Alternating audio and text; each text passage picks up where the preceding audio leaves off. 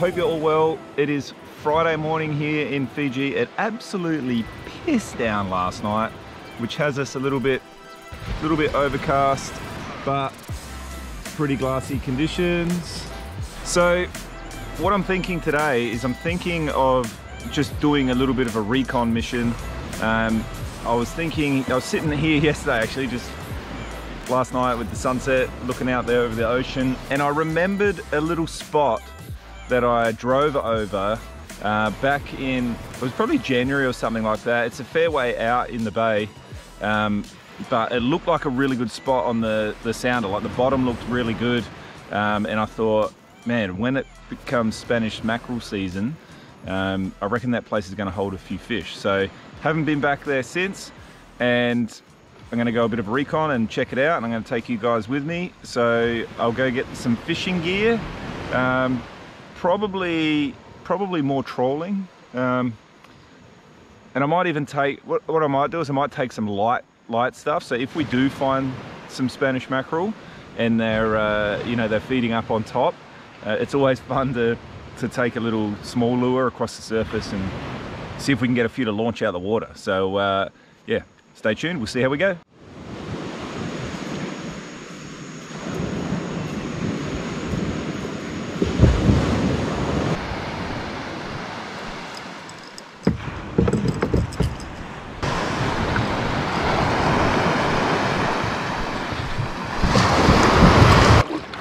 To be interesting to see how much water is in the tinny. Because like I said, like look at it, the visibility is shocking. Had so much rain last night. It pissed down, like it woke up our whole house. Kids even got a little bit scared. So, uh, and the tinny is sitting low and twisted.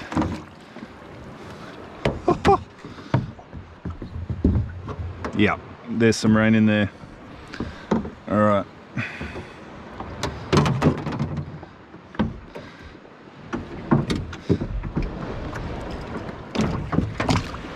my automatic bilge pump died. So always got sort of one ear on the on the rain during the night. Because if it really pisses down like monsoonal style, I gotta paddle out here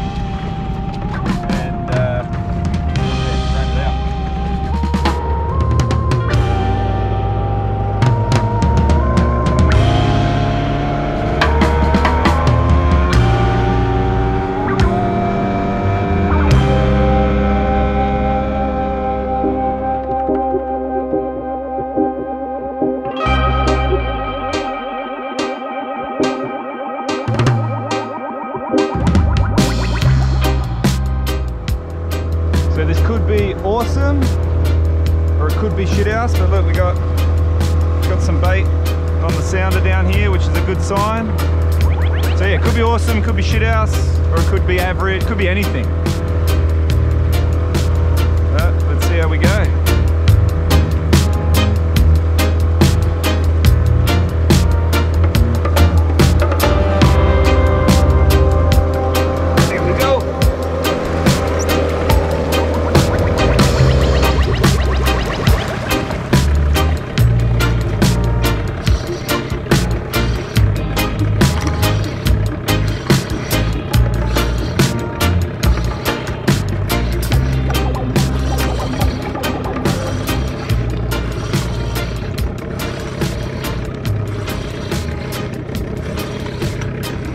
It's a Spanish Mac.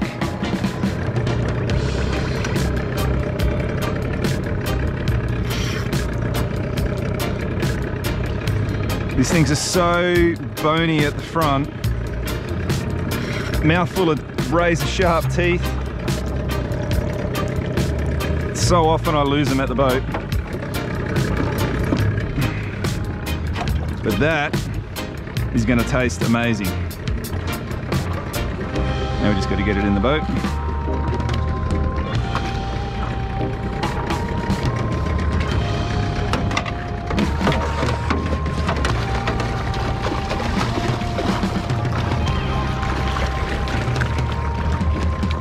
Okay, let's bring it around. Woohoo! Nice one.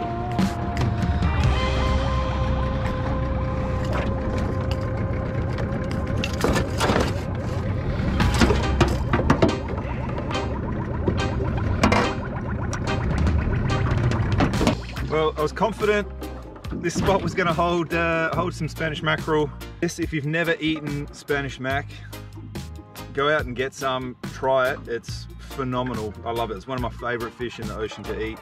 So what we might do is we'll hang here for a bit. I'll get, like literally I've only been here five, 10 minutes. So uh, I'll have a bit more of a snoop around, see if we can hook maybe another one of these. Um, and we'll probably stop at two. Um, and then we might do a bit of a, a cook up with this. Um, we'll do like a beer batter. Not so healthy, but tastes phenomenal. Like some, some Spanish mackerel in beer batter. You can not go wrong. All right guys, so the recon mission I would say is a success. It definitely holds fish. There's heaps of fish here and we got that Spanish Mac as soon as we got here, but I'd say I reckon I probably missed the bite today. Like I was probably a little bit late. Didn't really check tides. I didn't really, um, you know, check any of that sort of stuff. Um, but it would have been a, probably a red hot bite, probably about an hour earlier, I reckon, with the, with the runoff. Um, but yeah, not complaining. So we'll put this one in the memory bank and we'll definitely come back here when we need to uh, put some fish in the freezer. Um, so what we'll do with that Spanish Mac, we'll go home now, we'll fill fillet that up. Um, and then a little bit later tonight, we might, I'm thinking like beer batter, like beer batter burgers and uh, beer battered onion rings to go with it. So uh, it's Friday, so you can lash out a little bit and, and have a bit of the uh, the cheap meal type thing. Um, and uh, yeah, I'll show you how I make my beer batter and um, yeah, show you these burgers with a bit of, I think, yeah, beer battered fish burger with onion rings and honey mustard dressing. So uh, let's do it, man. I'll see you back there.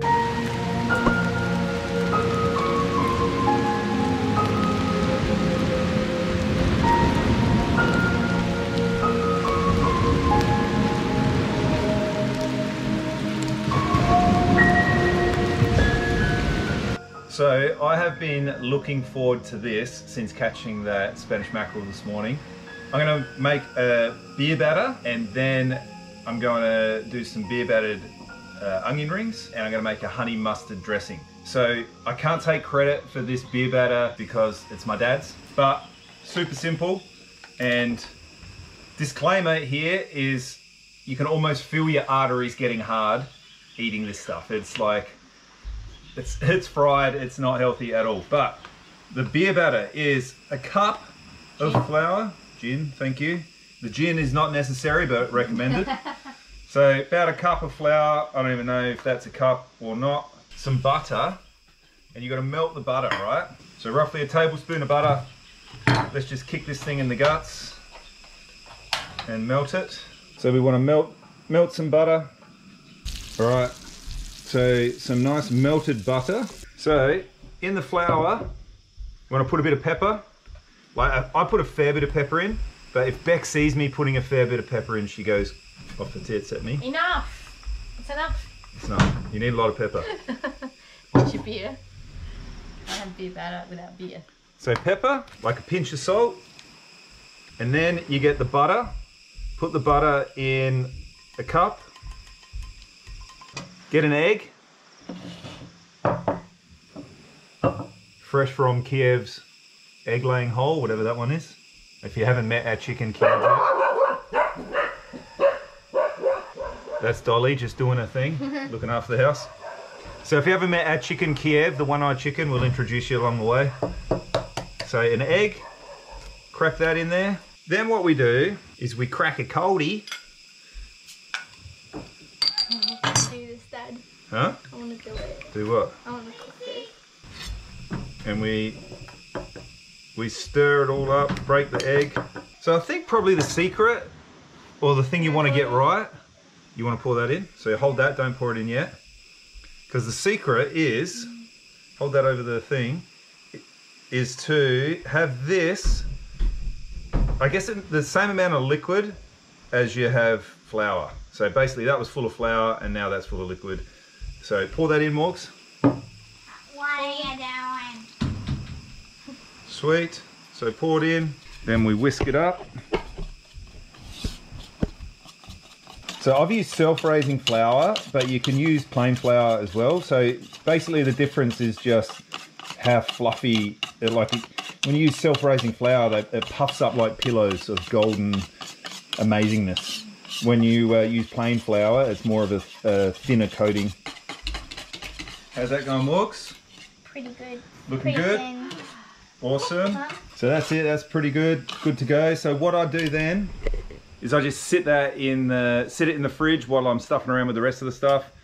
Like my dad, I reckon he makes it like in the day, like in the afternoon, leaves it in the fridge all day. I just make it like you know half an hour before I'm cooking. So we'll sit that in the fridge, chill that down while I make the dressing and cut the onions.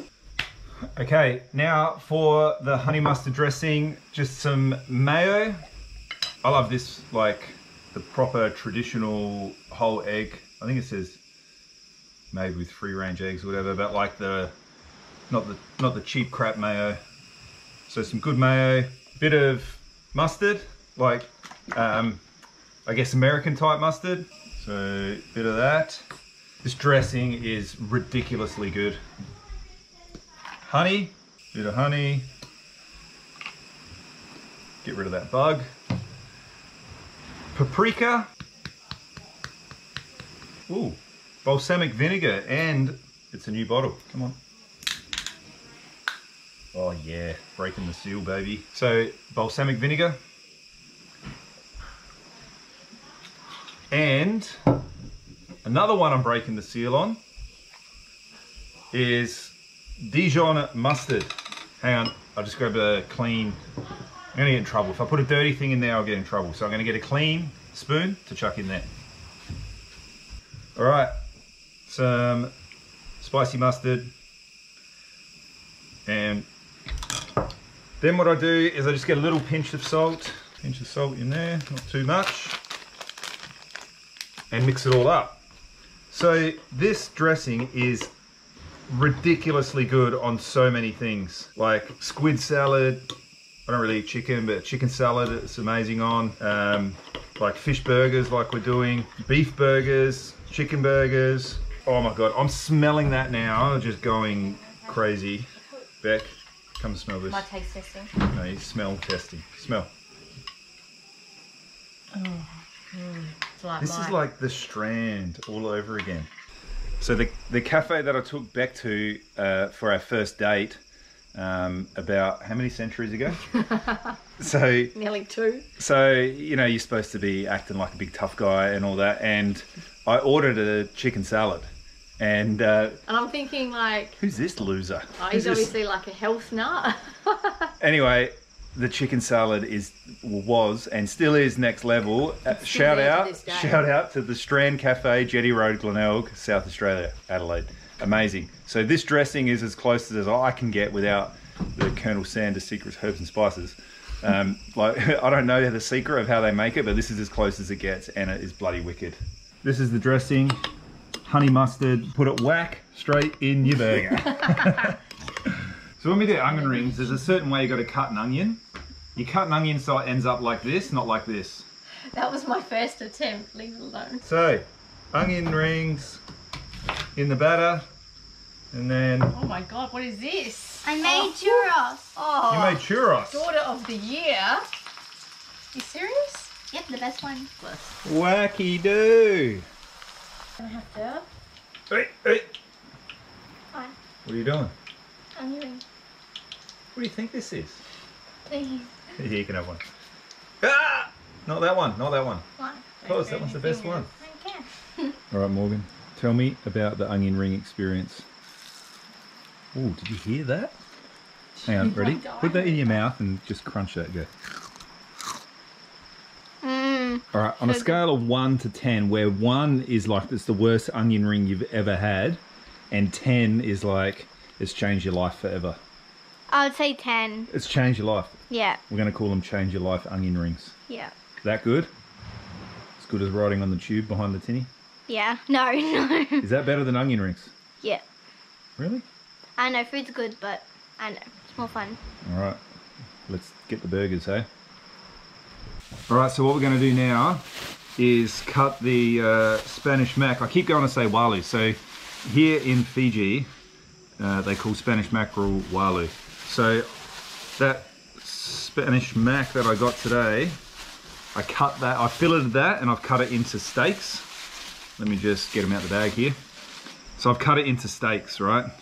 So like amazing, thick, juicy steaks. Like mackerel is the best flesh ever, I reckon. So yeah, I've cut it into nice big chunky steaks. Now, but they're too thick for a burger. Well, might not be too thick for a, a full-on man's burger, but uh, so what I'm gonna do is I'm gonna slice those sort of down to make it a bit thinner, sort of patty style. And I've got dogs sniffing around me wanting theirs. So I just cut it through like this, right? And then you end up with like just an awesome, like ready to batter and then fry. Look at that, like, holy cow, man. It's the best. Dolly, for your patience, ready? Oh, sorry, that's landed on your face. Now I've got Gracie at me. You want some too, Gracie? Hey, you're wet, mate. What have you been doing? All right, let's cut this little bit off for you, Gracie. Sit.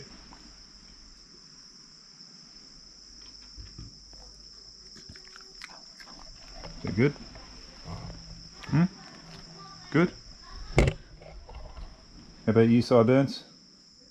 Good stuff? I know I've said this in a couple of other videos, but if you're ever frying stuff like crumbed or battered, heaps of people just sit it directly on paper towel to try and soak the oil in that off and stuff goes a bit mushy. If you sit it on a rack like that, like a steel cake rack, um, things stay really crispy. All right, let's chuck it in. Oh my God. So you drain that. And we put it on the cardiac arrest plate. Yeah, constructing burgers. Alright, still way more. Woohoo! That is so good that I could have just a bowl of that. I don't know if we- we do more.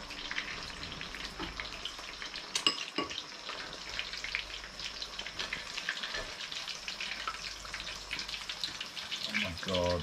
Look that golden, crispy brown this fish is. Mm, onion rings. Right, this is for the kiddies. Right, skimp on them. no, skimp on the kids. A little bit of onion rings for them. One onion ring each. Dinner is served. Turn the plate like you did last time. Oh. Yum. Oh, Cute. Rubs up Alright, pick up that burger. Mm-hmm. And tell us what you think. I want Ready? Ready for the crunch? There you go. I'm ready for the. Do you want to take it Verdict. inside? Give me the score. Hmm. There we go, Lucy. 9 out of 10. Needs We more have a- sauce. Needs more. You know what? Mum went tight ass with your sauce because Mum wants the sauce for her. So she said, let's not put much on the kids' one so we can have more sauce. No, that was the onion rings. Naughty mum. And tonight's dessert, courteous of Me. Morgan the Great. Morgan the chef. I made churros. Hey guys, thanks for tuning in. Hopefully you have enjoyed the video, even just half as much as we as we've enjoyed eating this stuff. Oh my godly gosh. Right, that seriously tastes like the strand. That sauce. Wacky do. Seriously. Wacky do. And the Strand, we're coming for you. The Strand Cafe, Glenelg, South Australia, Jetty Road. We're coming for you.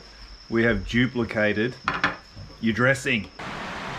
See you on the See you next, one, guys. guys.